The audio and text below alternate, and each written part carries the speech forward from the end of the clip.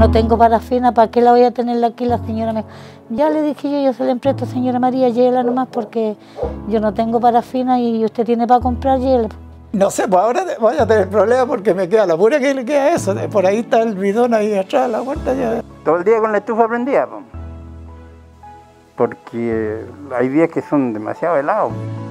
Como hace muchos años no ocurría, el invierno llegó este 2020 recargado de lluvia y frío. Un aditivo a la pandemia que mantiene a medio Chile encerrado, en especial a los adultos mayores que desde sus hogares ven el tiempo pasar, muchas veces con angustia, ante la ausencia de insumos o combustibles que le permitan capear las inclemencias del tiempo. Pero cuando los problemas parecen sumergirnos, están esas ayudas solidarias que logran ver el futuro de manera más optimista y con la ilusión de superar esta pandemia de manera digna y auspiciosa. Esta vez, la empresa COPEC, sabiendo de las necesidades de la comuna, aportó a 2.000 hogares con adultos mayores como sostenedores la cantidad de 10 litros semanales de parafina por dos meses, para que cada hogar se vea beneficiado. Y lo que buscamos es tratar de aliviar esas necesidades que tienen estos adultos mayores en este periodo, en este crudo invierno, que además han estado en cuarentena porque son las personas de alto riesgo. Pero también el funcionario municipal irá eh, diariamente a buscar la carga a las estaciones de servicio COPEC que hay en la comuna y otras aledañas para llegar al hogar y entregarle eh, la calefacción eh, en definitiva. Desde muy temprano las camionetas municipales se trasladaron hasta la estación de servicio de la Florida a cargar los bidones con combustible.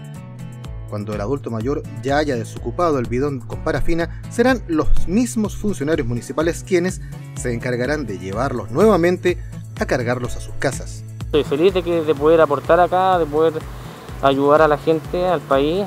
Como siempre, COPEC siempre ha estado ayudando al país en todo sentido, en aluviones, en terremotos, en maremotos hemos estado siempre ahí y esta es otra, otra oportunidad que nos da la, vida para poder seguir ayudando a la, gente. Tiempos duros donde muchos hogares han tenido que sufrir el rigor de los más de 100 milímetros de agua caída en Santiago, donde la humedad y el frío van carcomiendo la salud de los adultos mayores que solo buscan el resguardo al calor de su estufa parafina. Aquí hemos estado, por si nos salimos para afuera, pasamos aquí. Eh, hemos llorado porque muchas veces no hemos tenido nada. Pues tengo todo mojado ahí atrás, está todo húmedo, todo, porque no eh, tengo puesta unos cines malos. No, no me quedaba más. La, eh, la vacía hace como dos días, tres días atrás, porque yo la prendo muy poco. es como a las seis de la tarde cuando hace mucho frío. Sí, pues eso es lo otro, nosotros ya lo habíamos acostumbrado, que la lluvia ya no la estábamos casi conociendo, entonces ahora con la lluvia que hay, después vienen los fríos, un día que llueve, al otro día que está más o menos, y después mañana va a volver a llover, pasado, pasado mañana no, pero el viernes iba a llover de nuevo, entonces uno tiene que estar aquí guardado en la casa, no, pues no, no puede, de otra manera no se puede.